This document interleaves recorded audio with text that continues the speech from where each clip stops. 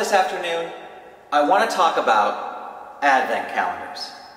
I have an Advent calendar here on the stage with me, and I think we can all agree there's nothing really special about Advent calendars. Why, all around the world, there are several hundreds of thousands of Advent calendars that are just like this one.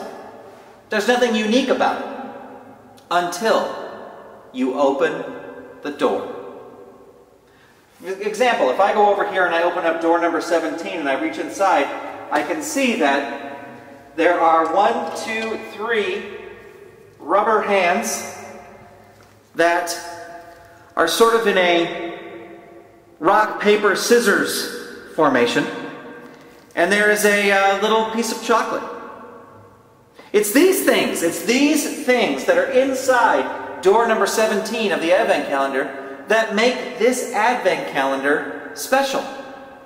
That makes this Advent calendar different from all the other hundreds of thousands of Advent calendars all around the world. And my friends, you are Advent calendars. You have something special and unique deep inside of you. And you need to share that with the world. And the only way you can do that is if you open the door. You guys have been very nice. Thank you very much. Have a great rest of the conference. They're fantastic, well-told stories.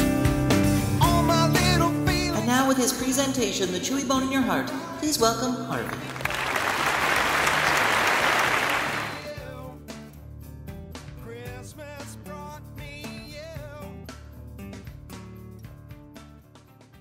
Stay tuned. We'll be right back.